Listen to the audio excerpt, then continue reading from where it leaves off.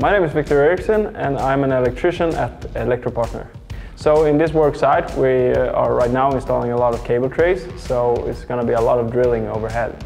The Milwaukee over the hammer has uh, helped us a lot. The integrated dust extraction has really improved uh, the speed of our work.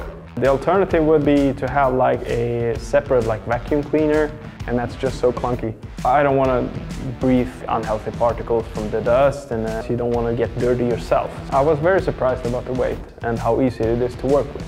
For a full day work, I was very surprised that I only need to use a 3 amp battery. In a work site like this, we have a lot of plumbing and a lot of pipes running through the ceiling and some places are very hard to reach. Like in a work site like this, there's always a risk that you hit rebar when you drill and uh, when I hit the rebar, the safety cutout feature uh, stopped the drill and the feature actually saved me my wrist. I think that Milwaukee has surprised and actually has shown to be a stable uh, in the industry.